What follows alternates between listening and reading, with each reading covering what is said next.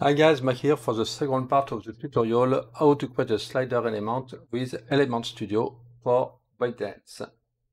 So first things I need to change it's the dynamic data. I saw a message from uh, Dion, uh, sorry if I misspelled your name. Uh, he tried to do the same element, but he has a problem with the advanced custom field gallery field that doesn't work properly. So I check and yes, he's right, it doesn't work. I have created here. Uh, maybe I need to modify a little things first. So thumb slider here. Let's go back to my image and put here gallery. Okay. So and then let's add a uh, note like this. Uh, okay, I have um, custom field gallery here called super gallery already there. And yes it doesn't work. The image doesn't show up. And the solution actually is pretty simple. Because if we check the gallery element that works in a very similar way. So we have a gallery here. And if we select the custom field here it works fine and why? The reason is simple. They don't use the WP media in gallery mode. I think it's an odd option because it doesn't work properly with the dynamic data. They use instead a repeater with the image and WP media as a child. So let's do the same here like that we'll move the gallery here so instead of having image WP media controller with enable gallery mode we change it to a repeater. And inside we use the image element with a WP media. And we don't enable the gallery mode but we course enable the uh, file type only image and that's it. Here for the gallery, there is actually a gallery mode, so we enable it. We select the media path for the image, that one, and, uh, and that's it. Now if I go back here, so first let's add some uh, image. Yes, we have to change the code. I forgot. So add item. Yes, we can change add item to add image instead, and maybe put uh, white. Okay.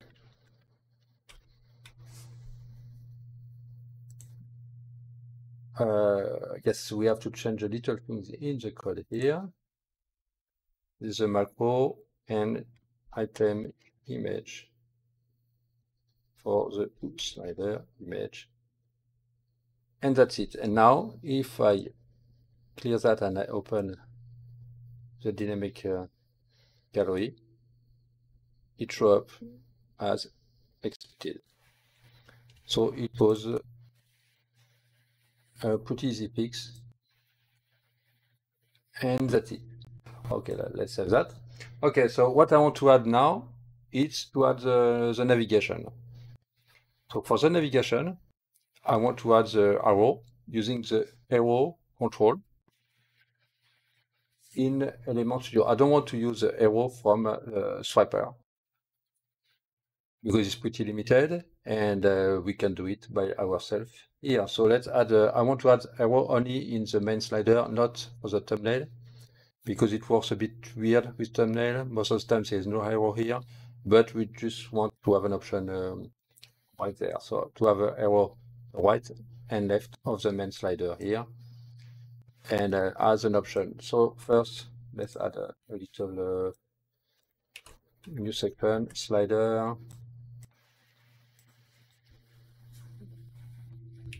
navigation and toggle.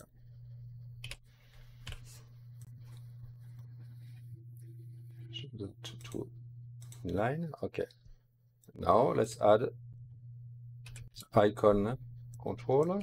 And we call it arrow left and another one. Our right icon. Okay.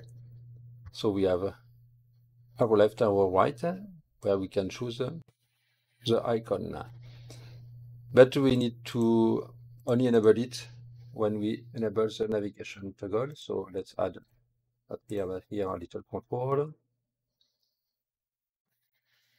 So I'll call that navigation right? So if it's set okay the same here. Navigation right set. So now the option only show up when we want. Okay so now let's add the arrow here. So if you check the code there's a big big uh, part of code here. We are not going to use that one. It kind of works but i think it's an old method. We need to use a macro that already exists only if we change, if we add the design. So let's go back here and we are going to use uh, maybe a navigation here. So let's add a control second, control navigation, then let's add a preset icon, icon design, and then we call it uh. Okay. And now we have all the code here. We have the HTML code and the CSS code. First, let's add the HTML. So we can't add it inside our swiper container. We can add it here. We want two. Let's add one first because we need to change a couple things here. So we need the two icon, one for the left, one for the right. First, let's add a class. So term, how can I call that? Term slider left. We need the path for the icon, path to rotate, false, so that one we don't need. Let's remove it. Path to link for the control, for the link, we don't need any link here. And that one, it was the white one. So what is the path to icon? It's what we have here.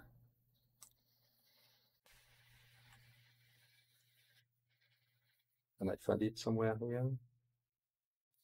So small. Okay, content slider our left. So let's go back right here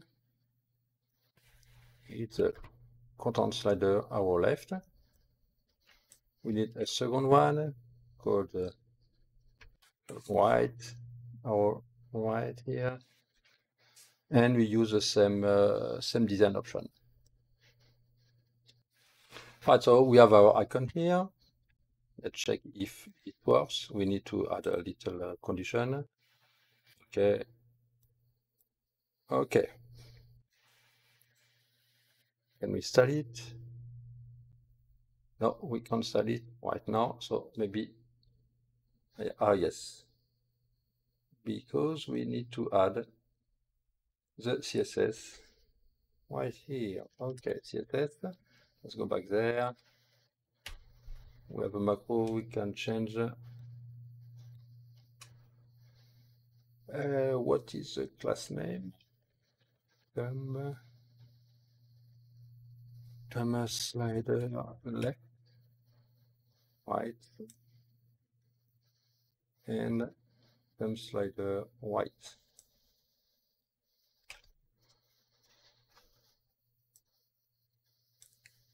Okay, so we can change the color, we can change the size, we have all the control we want here. So the things we need to add, it's uh, a little uh, condition. Not right here, but uh, where is uh, right there, condition. Okay, so we have a condition here. Let's add it to our code.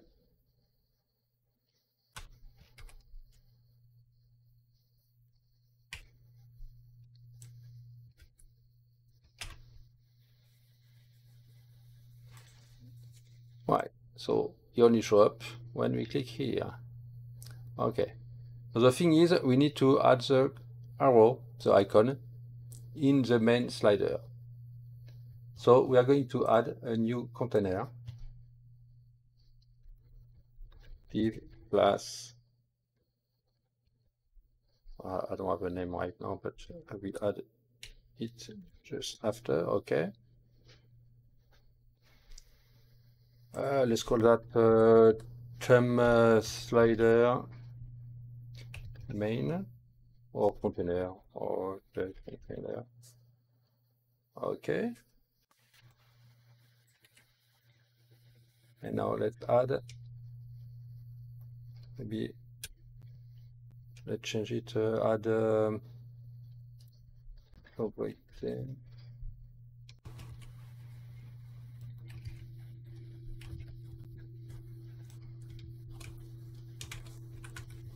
Position relative. Okay. And now we can add some option for our arrows. So how I call them?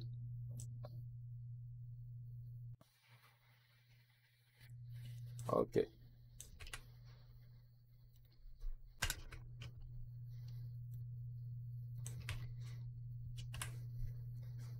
Right. And uh, and let's change the position so position absolute. Okay uh, that index maybe probably tend to be sure it's on top of everything. 50 percent. Transform translate y minus 50 percent to be sure it's centered and the cursor pointer. Okay and now for each one of them at least the white one. Change the position. White zero. Right so now it's at the white place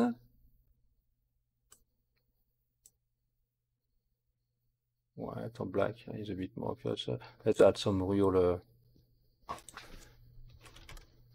arrows so it look a bit uh, ah a mistake. Let's add that one. Okay.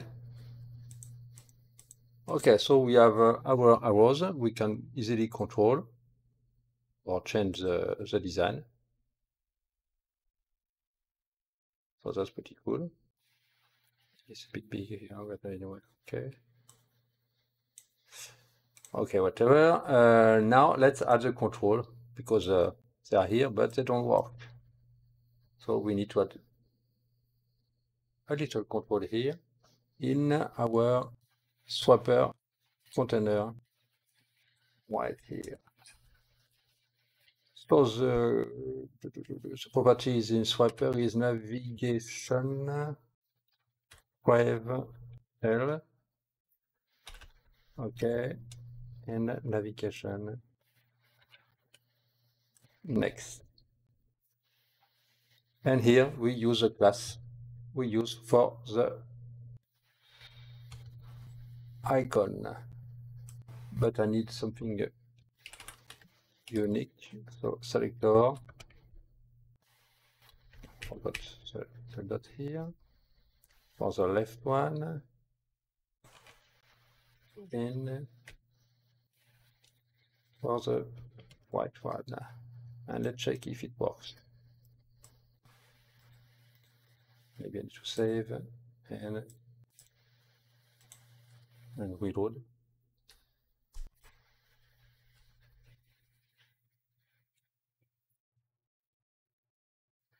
Oh okay. Forgot to save here. Okay.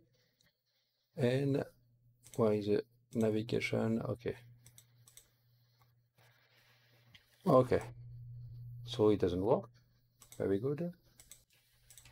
Let's check the front end. No, no, no, it works. Okay, okay. So it was just in the back end. Okay. Let's go back here. Change, change the color so it's a bit more obvious. And our left. Okay. Let's save everything. Reload, reload here. We click. It works fine. Ah, okay, okay. I just need to reload properly. So it works fine here too. Okay, so it's a pretty nice option. Uh, if you want, uh, not sure if I have an option here. Okay, so I have a padding option for the um, thumbnail slider, but I don't have a padding option for the slider, the main slider. So let's add that to have a little bit more uh, control and uh, padding okay.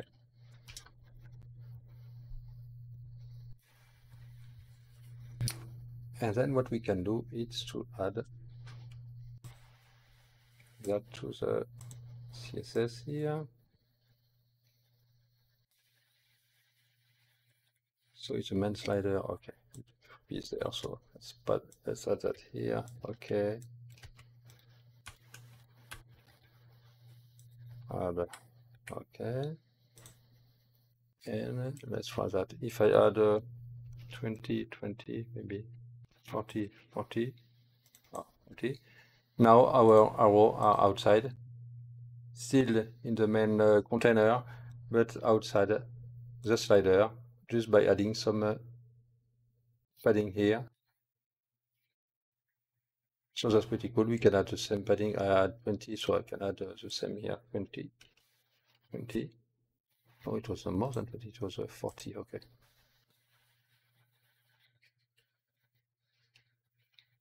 Forty, forty. Right. So and uh, oh, do I have an option to? Yeah, yeah. So I can have. Uh, what we can do, for example, we can. Uh, when it's very wide have the arrow there and on mobile mode zero zero.